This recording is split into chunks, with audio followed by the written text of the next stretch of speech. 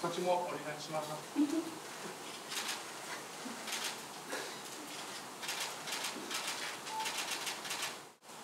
まあ、今年のシーズンの初めあまり調子が良くなかった中であのこうしてオリンピックとダイヤモンドリーグファイナル重要な試合で勝ちきれたことはすごく大きなことだと思いますしあのまあ、記録という部分では今今季は自己ベストが出なかったので悔しい部分もありますけどあの、まあ、大事なところでいい記録は出せたかなっていうふうに思ってるのであの来年以降記録は来年以降しっかり目指せる状態であのシーズンに臨めたらいいなっていうふうに思ってます。もうひたすら悩み続けてもがき続けたシーズンだったと思ってます。最終的にはその大きな大会に関しては、まあ、勝負っていう部分であの帳尻あった部分はたくさん作れたとは思うんですけどあのそのそれまでの過程は結構難しいことが多かったのでうん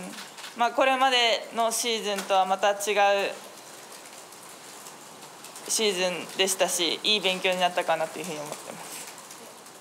一つはやっぱり自分が動けるなっていうそういう自信がある状態で試合に臨まないとあのいい結果だったり記録は出ないなっていうことが分かりましたしあのその動けるっていう感覚がその距離としっかりつながってるっていうのは今回今今年1年であの再確認できたのであのその自分の感覚だったり感じてることはあの信じていいものなんだなっていうのはあの思いました。あの地元であのパレードをあの開催してくれるっていうことはすごくあの光栄なことですし私が少なくとも私が生まれてからはやってないことなので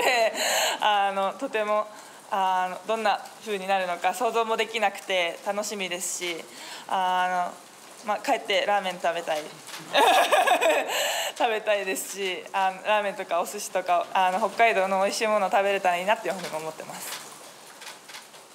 今年あの今回の最終戦の投げが一番自分らしい投げだったと思うのであのそこにやっぱり自分が必要としてる力だったりあの必要としてる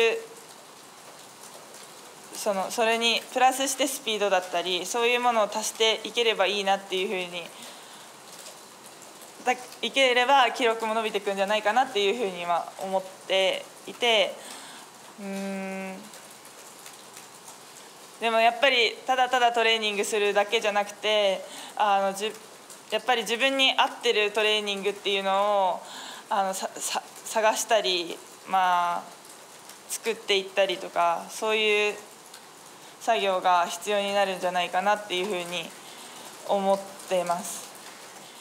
とあとは、まあ、将来的にはその世界記録っていうところも頭にあると思うけどそこへの距離感っていうのは今どう捉えてるのか教えてください。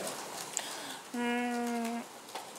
まあ、去年とあの一つ違うと思うのは完璧じゃなくて6566飛び始めてるのであの、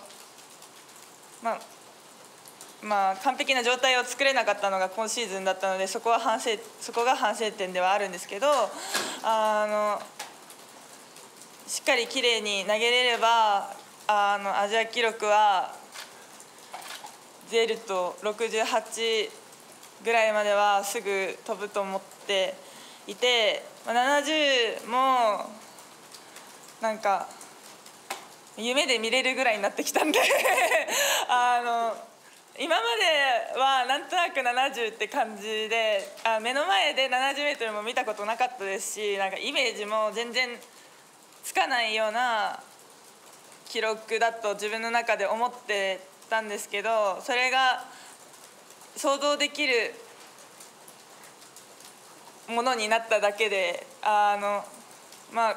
今季自己ベストは出なかったけどその記録に対しては近づいてきてるのかな前よりは近づいてきたんじゃないかなっていうふうには思ってます。